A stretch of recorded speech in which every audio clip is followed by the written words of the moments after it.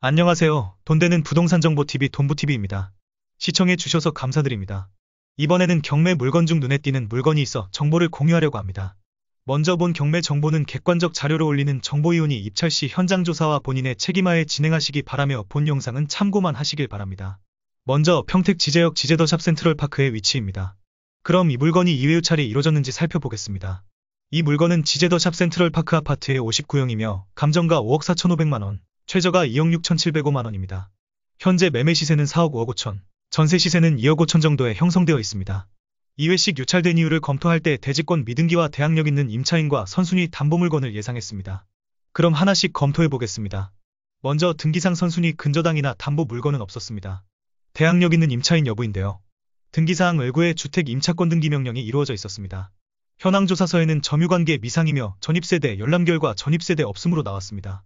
또한 경매 개시결정 사유가 임차권 등기 명령에 의한 강제 경매 개시 결정으로 보입니다. 현재 채권자는 임차인이었던 것으로 보입니다. 선순위 문제는 없는 것으로 보입니다. 하지만 입찰하시려는 분은 최종적으로도 재차 확인하시기 바랍니다. 마지막으로 대지권 미등기 여부인데요. 오래전에는 건물과 토지가 별도 등기된 경우가 있었으나 현재 집합 건물의 경우 소유권 보존 등기 시 건물과 대지권이 일괄로 표기되는데요. 이 물건의 경우 왜 대지권이 미등기일까요? 그 이유는 지제더샵 센트럴파크 3단지 아파트 청약 공고를 보고 알 수 있었습니다. 본 물건은 동삭센토피아 지역 주택조합 아파트로 완공 후 후분양하였고 대지권 등기는 환지 처분에 승인 시 등기 완료되게 되어 있었습니다. 그렇다면 아직 환지 처분 승인이 이루어지지 않았다는 것으로 보여집니다. 그럼 본 물건 여포실도 그럴까요? 그래서 확인해 봤습니다. 여포수 역시 대지권은 미등기 상태였습니다. 아파트 소유권 보존 등기 이후 이전 등기 시 건물 가격만 받고 등기가 이루어지는 경우는 아직 보지 못했기에 대지권가에게 미납이 있다고 보여지지 않습니다.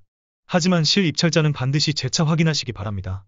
본 정보가 관심 있는 분들에게 도움이 되기를 바라며 궁금한 부분이 있으시면 편하게 문의 주시면 최선을 다해 답해드리겠습니다. 감사합니다.